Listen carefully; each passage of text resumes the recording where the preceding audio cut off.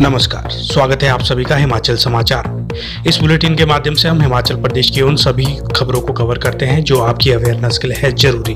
तो चलिए शुरू करते हैं। मुख्यमंत्री जयराम ठाकुर ने कहा कि कोरोना महामारी को देखते हुए प्रधानमंत्री गरीब कल्याण योजना को राज्य में प्रभावी ढंग से लागू किया जा रहा है।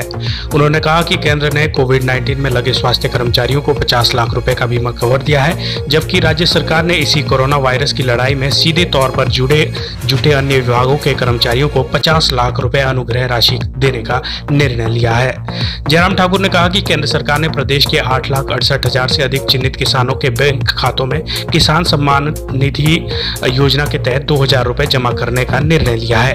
मुख्यमंत्री ने कहा कि इसी तरह प्रधानमंत्री जनधन योजना के तहत अगले तीन महीनों के लिए महिला खाता धारकों के खाते में अनुग्रह राशि के रूप में पाँच सौ जमा किए जा रहे हैं। जयराम ठाकुर ने कहा कि हिमाचल प्रदेश भवन और अन्य स्वनिर्माण कामगार कल्याण बोर्ड के तहत पंजीकृत श्रमिकों को राज्य सरकार द्वारा मार्च और अप्रैल में दो हज़ार दिए जा रहे हैं। उन्होंने कहा कि सरकार ने पाँच लाख उनसठ हज़ार से अधिक लाभार्थियों को सामाजिक सुरक्षा पेंशन प्रदान की है।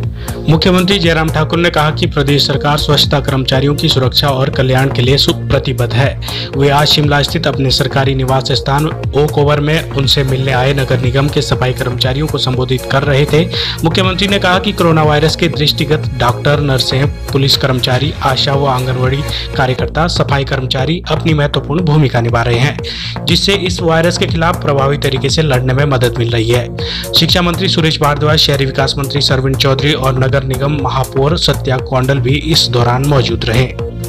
मुख्यमंत्री ने प्रदेश को 2000 एन सर्जिकल मास्क प्रदान करने के लिए राष्ट्रपति रामनाथ कोविंद का आभार जताया है। राष्ट्रपति को लिखे एक पत्र में मुख्यमंत्री ने कहा कि इससे स्वास्थ्य कर्मचारियों कोरोना महामारी से निपटने में सुरक्षित रह सकेंगे। इस बीच मुख्यमंत्री जयराम ठाकुर ने लोकसभा अध्यक्ष व राजस्थान से सांसद ओम बिरला से कोटा व राज्य के अन्य भागों से फंसे हिमाचल के विद्यार्थियों के मामले में हस्तक्षेप करने का आग्रह किया है।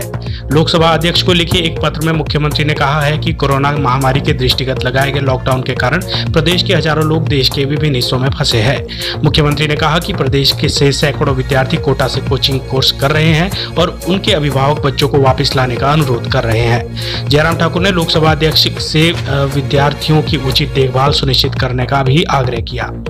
प्रदेश में आज कुल 460 लोगों के सैंपल कोरोना जाँच के लिए भेजे गए, जिनमें से 111 सैंपलों की रिपोर्ट नेगेटिव आई है, जबकि तीन सौ उनचास की रिपोर्ट आना बाकी है। अतिरिक्त मुख्य सचिव स्वास्थ्य आर डी धीमान ने एक प्रेस विज्ञप्ति के माध्यम से ये जानकारी दी है। उन्होंने बताया कि प्रदेश में अभी तक तीन हज़ार तीन सौ इकतालीस लोगों की जाँच की जा चुकी है, जिसमें से उनचालीस व्यक्तियों के संक्रमण की पुष्टि हुई है। आर डी धीमान ने बताया की राज्य में अब तक आठ हज़ार दो सौ अट्ठानवे लोगों को सुरक्षा दृष्टि दृष्टि से निगरानी में रखा गया था जिनमें से 5,380 लोग 28 दिनों के निर्धारित निगरानी अवधि को पूरी कर चुके हैं। कोरोना महामारी को देखते हुए किसानों को अपना उत्पाद आसानी से मंडियों तक पहुँचाने के लिए केंद्र सरकार ने किसान रथ नामक एक मोबाइल ऐप विकसित किया है। कृषि मंत्री रामलाल मारकंडे ने किसानों से इस ऐप को डाउनलोड करने की अपील की है। उन्होंने कहा कि ये एप्लीकेशन प्रदेश में कृषि व बागवानी उत्पादों को राज्य के भीतर और बाहर की मंडियों में भेजने में मददगार साबित होगा। मारकंडे ने कहा कि इस ऐप को गूगल प्ले स्टोर से डाउनलोड किया जा सकता है। उन्होंने कहा कि इस ऐप सेवा के माध्यम से पाँच लाख ट्रकों और बीस बीस हज़ार ट्रैक्टरों की जानकारी उपलब्ध होगी, जिससे किसानों व व्यापारियों को अपने उत्पाद ले जाने में सुविधा होगी।